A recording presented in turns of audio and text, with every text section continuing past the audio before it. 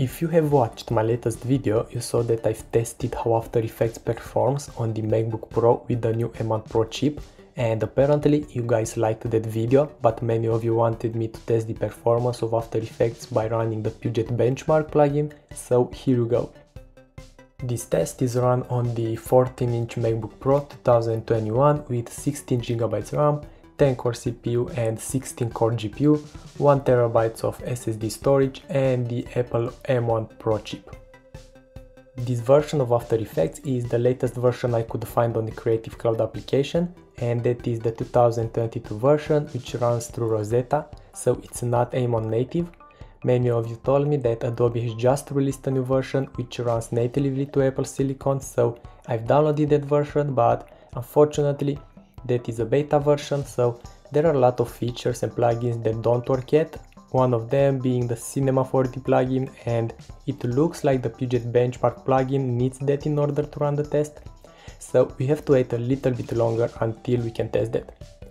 Anyway, I'm going to make another video between After Effects running through Rosetta and the one running through Apple Silicon, so stay tuned for that.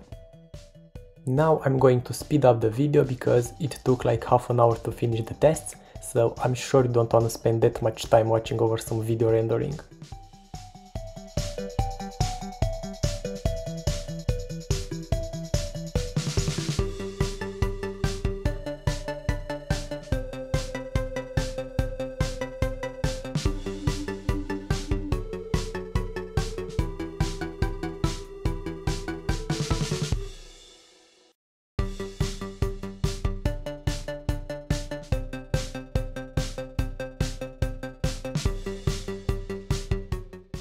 Alright, and we got the results.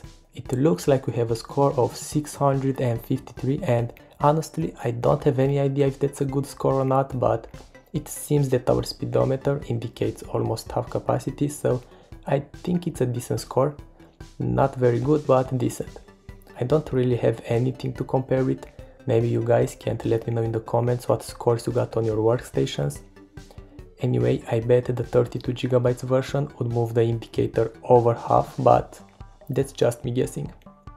I wish we had had a little bit more information about this score, but yeah, this is what we have. So anyway, thanks a lot for watching and talk to you soon.